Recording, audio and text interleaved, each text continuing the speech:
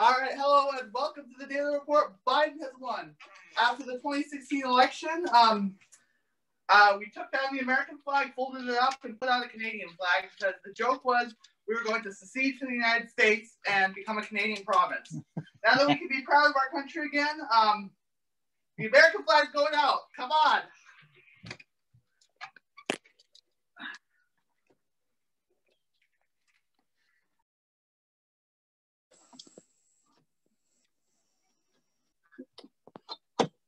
There we go.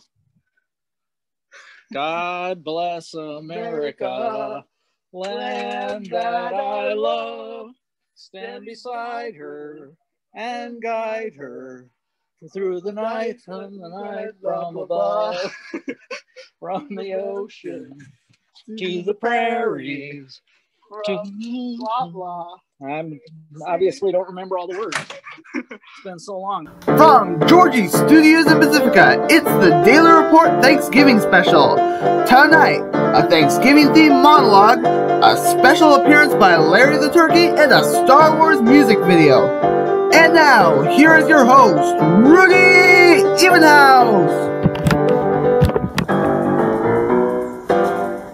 Hello, everyone, and welcome to the Daily Report. Let's get our little book here. As you can see, I'm pulling a Jimmy Fallon, and I'm sitting on a stool because uh, otherwise it, I'll see the roof of my shed. it's really, it's not funny at all.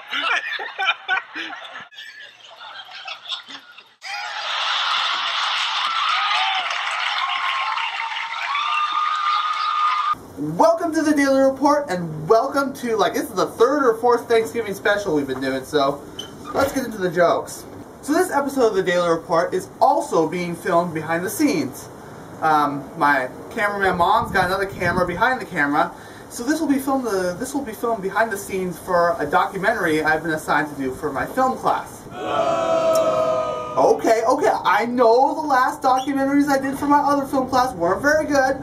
I'll try and make this one better. Now, if you don't even like it, if it turns out crappy, it's only going to be two to three minutes, it's just going to be one, so that's the good news.